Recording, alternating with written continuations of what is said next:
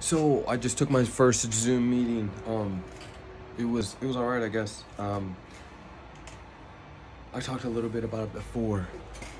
They basically want me to travel 20 minutes. It was a 32 minute drive to Blue Ash, which is their where they're located. This office is located in Blue Ash, 32 minutes away. It's a suite, and uh, they wanted to go ahead and give me a second interview. This is only a second interview. Uh, you, they gave me the interview. They said that they would let me know if they called back, and then they ended up calling me back almost right away, maybe like 20, 30 minutes. The dude talked about um, wrapping up the day. They did decide on moving forward with the second interview. Um,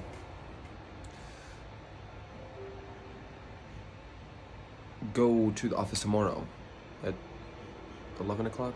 At 11 o'clock, at Suite 335. So yeah, this is the place that still talked me into it. I don't know because I've had experiences like this before where some where it did sound very promising and then out of nowhere. anyway.